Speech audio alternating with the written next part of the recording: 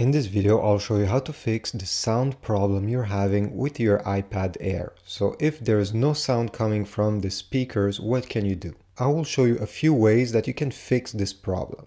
So the first and most easiest thing that you can do is to force restart your iPad Air.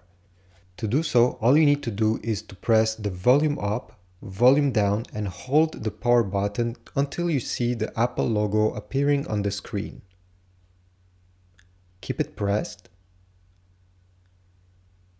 And once you see the Apple logo, just like it will appear in a few seconds, you can release the power button. The iPad will now restart and in just a few seconds you'll have to re-enter your password if you have one and unlock it. If you still have a problem with the sound, there's another way you can do it. Go into your settings and now search for Bluetooth on the left side, tap on it. Make sure that the Bluetooth is turned off.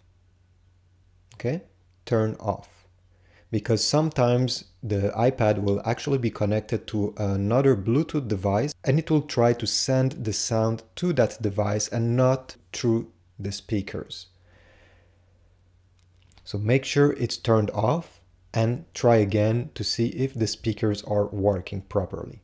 Another solution is to go in general and then here you need to scroll down until you see transfer or reset iPad on the bottom here.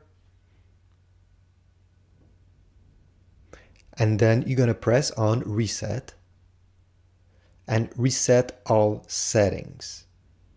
Okay. You'll have to input your passcode of your iPad and this will reset uh, many settings including the audio of your iPad Air it won't erase your apps and pictures. These will still stay on your iPad. It's not a factory reset.